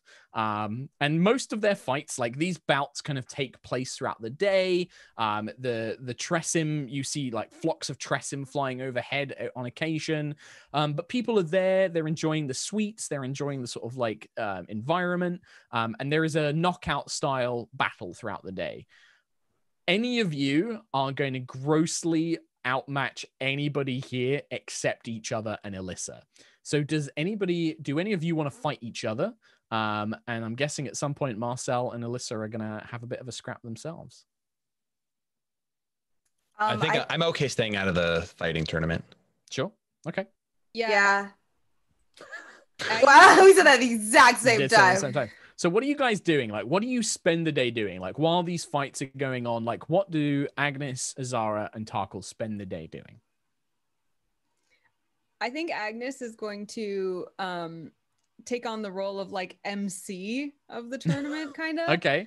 So she'll like open things and she'll she'll have her little phoenix chick fire spirit kind of like Like- emphasize like let the tournament begin and like you know some fire and stuff as much as she Yeah. can. And then she'll be kind of floating around like making sure everyone's having a good time and she'll stop by the the junior stoling championship and like Mhm. you know uh, walk walk with her hands behind her back and be like "Mm, yes the greatest stoling champion will bring great honor to Eveningstar you know like give the kids all the kids are like, it. yeah yeah, all the kids and teenagers are stoling. Uh, a, a, a alley has been set up in the keep. It's in the keep main grounds. Um, a little kind of like wooden stakes have been aligned, um, and then a little board, a backboard, uh, sticks that have been properly crafted. Um, you know, that have been carved into a very beautiful round kind of oblong shape. Um, have been set aside as the official stoling sticks. Um, the stones have been properly carved by the stone cutters uh, to give them perfectly balanced uh, rolling and, and throwing potential um, and stacked neatly by the side. And yeah, the kids are having a whale of a time with the stoling tournament. Um, but yeah, uh, Agnis as the the main sort of contender, you easily get the crowd riled up. Um, and you introduce each of the kind of like combatants by name. Um, they've all put their names forward to Dusk, who is like a running list of everything um, as it goes through. Do you have any favorites to win? Do you guys like particularly cheer for anybody in particular? Um, do you uh, try and uh, kind of bet on anybody? um i anna is rooting for aaron okay, but not Agnis. i don't know i don't know what about anyone else? Um, well, I think during this whole thing, Azara would probably be like the self-appointed uh, referee, like Mhm. kind of standing by to make sure that nobody overly hurts themselves. Like she's not super adept with like healing magic or anything, but like if Mhm. somebody gets out of hand, she could throw up a quick barrier. Um, Yeah, yeah, yeah, probably can, has like stuff. like an yeah. elemental spirit kind of like out so she can keep an eye on one thing the elemental spirit can keep an eye on another just making sure that nothing gets super crazy people are drinking and fighting Yeah, could yeah, be an oh, issue those two things are definitely normally an issue. But with a with a war wizard magister on on front, most people are well behaved. You don't really have to get too involved. right Um, maybe a little bit of like pyrotechnics in in a in a fighter's face as he gets a bit too violent with swings. yeah kind of like disqualify him and knock him out. But probably have Yeah, like the not- the water spirit up so he doesn't actually like hurt anybody but would like Yes. smack somebody back yeah splash in the face. yeah Cool. All right. Nice. if anybody gets Uh, real uppity they get banished no i'm kidding Banishment. Oh, also, I want to make sure that the saucers of milk are kept very full and flowing for the trust. Oh yeah. Uh, that you uh, well audrey has been put on saucer of milk duty and is constantly like running back and forth from the keepers just like i, I can't keep up baroness they just keep drinking so much these tressym and there's flocks of tressym Yeah. they come down they guzzle the milk and they fly off audrey brings the next load out another like pack of tressym and it, it's like packs of them. It's like six seven flying cats swoop in and then they That's fly off again. Um, and when you look up just on the very top of the main tower looking down you see the scraggly old you kind of like big puffy one-eyed king just kind of watching everything like "Mm, yes. Speaking of which later on even if it's off screen could we address Yes. my my my get child Your, your yes, I did. I did have them in mind, but yes, we will do that. Uh, I will let you know who they are, and then we can introduce them next week. yay Um, Tarkhal, anything from you? Uh, I think Tarkhal would have given anyone that wanted, because betting was something he did a lot in Kingswood. Um, Oh yeah, yeah, he definitely was like, you know, just on stupid little things, on stalling sometimes. Uh, so he would give 10 Yeah. to 1 odds for Marcel to win to anyone that wanted to take it.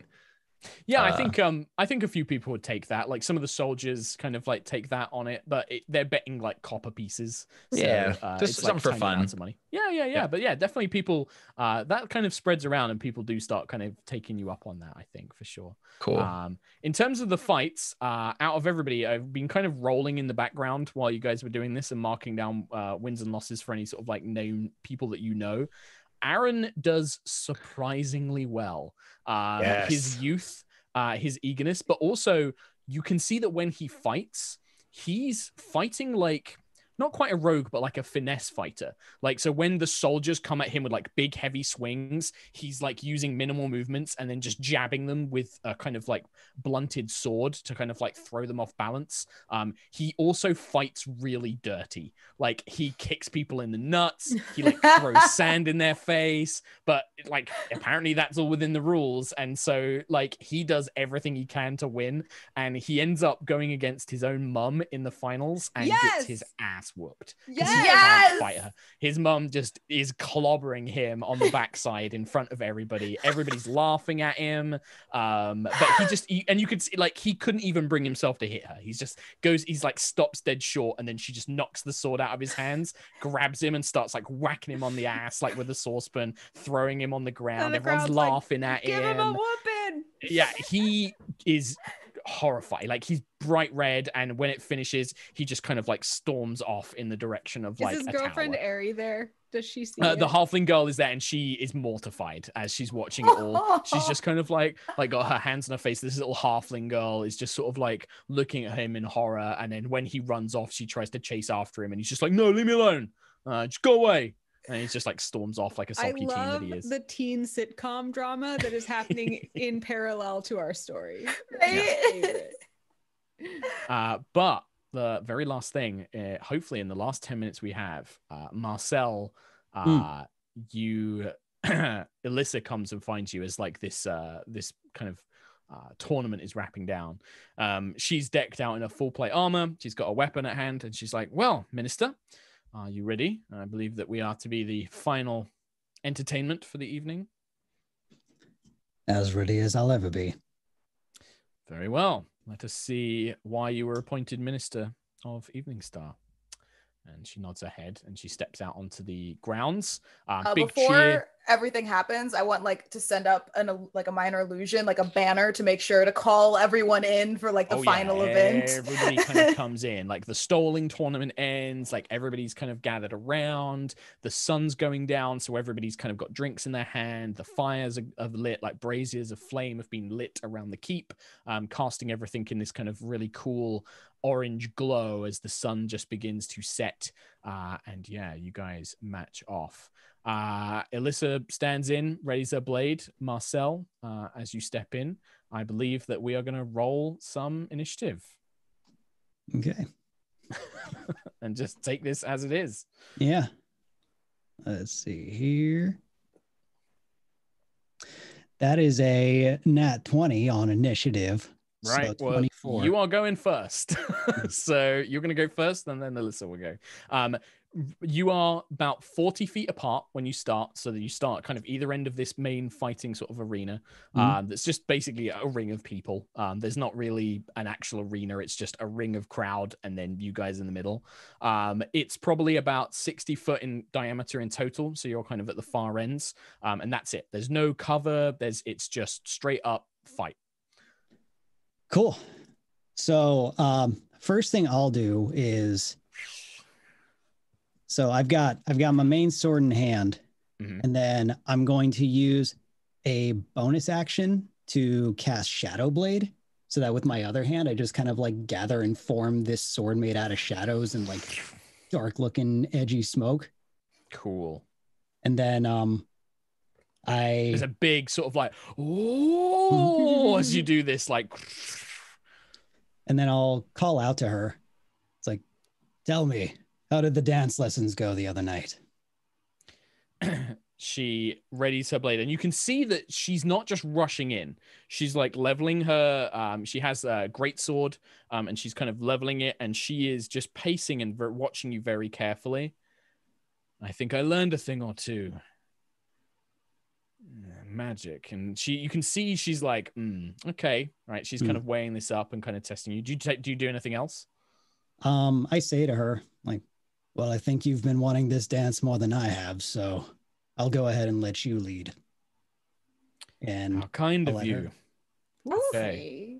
How kind of you. That was spicy, Yeah. dude.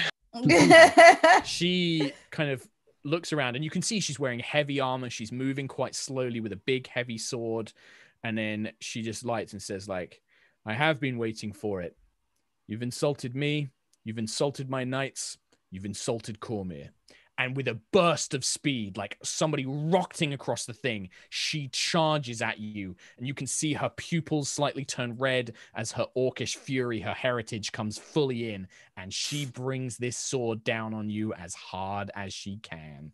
Uh, that is a 22 to hit. that does in fact hit. So, well, not the greatest damage though. That's going to be seven points of slashing damage, and then she's going to bring it up on a on a second swing um, as she does so for a 21 to hit. Yep, that too.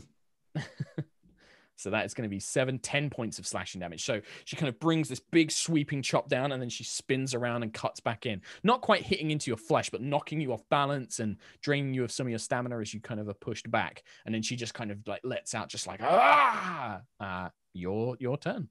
Um, and then after this turn, I think we're gonna we're gonna end things here, and then we're gonna continue this next week. I think. So that'll be fun. That will be really Mm. fun. We'll Thinking back with, uh, on on giving up a good initiative. He, Yeah. said- he just mentally says to the sword, just, well, that may have been a mistake. yes, I think it was. you just hear as he's like uh, getting ready. Uh, so I'm gonna go ahead and let's see. You can make a weapon attack. Yeah. So I'm going to cast a cantrip. I'm gonna go Sure. ahead and sword burst, Okay. which is going to be a uh, Dex 15 save. Dex, I mean, this is not Alyssa's strong point. Nope, she fails it. All Her right. heavy armor weighing her down. This burst of speed kind of seemed momentary. Um, not magical, just like a surge of, of energy, basically. Cool. So that is uh seven force damage. Okay. And then uh war magic. Use the cantrip, so I'm gonna take my take my attack. Do I get two whenever you take the attack action on your turn? So I think I get two attacks then. So what does it say on the war magic? So when you Uh, cast a so- cantrip, you can make an attack. Yeah, if I use a cantrip, uh, then where did it go? I just had it. Uh, okay, you can make oh one weapon attack as a bonus action. So I'm going to do There go. that, and I'm going to use my uh, shadow sword. Yeah. Okay. Oh, let's see. Okay. Um, and that's 14. 14 points. I just lost bloody night. Uh, Oh, sorry, 14 is not. That was 14 to hit. Mhm. Uh, so as you do that, she brings the sword up, and the armor does slightly protect her as the blade kind of scrapes along it, leaving this kind of black scar along the armor, but not impacting on her itself. Um, she kind of leaps back, and you see she kind of grins, and her little tusks kind of just poke out as her black hair like has come loose from the ponytail and is like spilled down her face. Uh, and she just looks and says, just like, regret not going to the dance lessons now. And that's where we're going to finish uh, today's episode. Uh, we'll pick this up next week as this uh, little sparring match uh, finishes.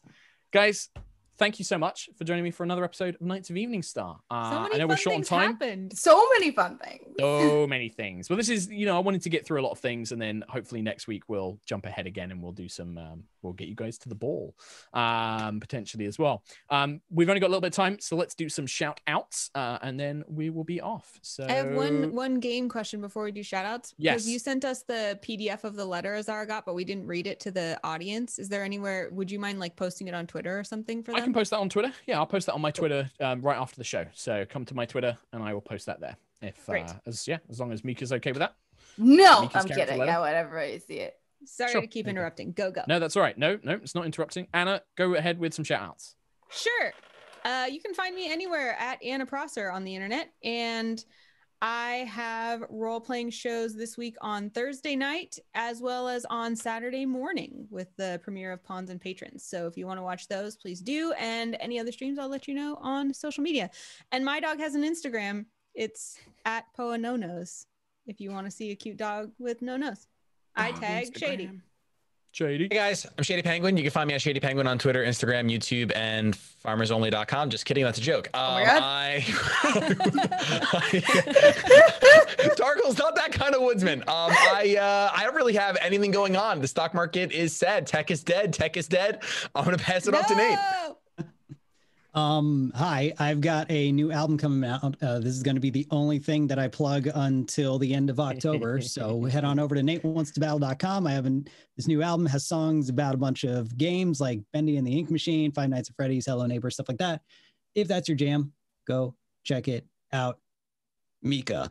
That's me. Hi. Uh, if you didn't check it out earlier today, please go to startrek.com slash day and see me and Wil Wheaton, the cursed dice man, uh, hosting a whole day full of Star Trek panels, which is really cool. I'm not doing anything other than that lately, uh, uh, but I have an Instagram for my dog as well. She made a brief appearance today. Go to at Reenie's Wild Shape on Instagram. But other than that, I'm on Twitter at Mica Burton, our illustrious DM.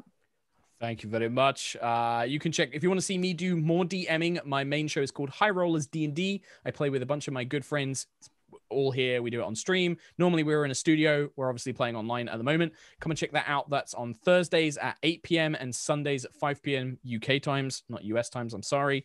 Um, my Twitter is Sherlock underscore Hulmes. Uh, I will try and post that letter from Mica. It might go up tomorrow morning because I have to save it out as an image. Uh, it's PDF at the moment. And that's it from me, Anna. Sorry, I forgot to say that um, PAX Online announced that Acquisitions Incorporated will have a live game as Yes. part of PAX Online on September 18th. And Evelyn from Dice Camera Action, along with Strix from Dice Camera Action, will be in that game. And I hope you'll watch, and I will be there in Check chat. out. Check that out. That's it from us. Uh, we got to go. We got like a minute left. So that's it from us. Thank you guys so much for watching another episode of Nights of Eveningstar. We'll be back next week. See you then. Bye.